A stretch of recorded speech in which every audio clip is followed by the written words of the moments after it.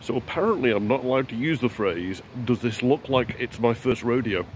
Just made a guy nearly fall over laughing in the cinema when I stood at the bottom of the stairs waiting for the final end credit scene, as any Marvel movie movie fan will do.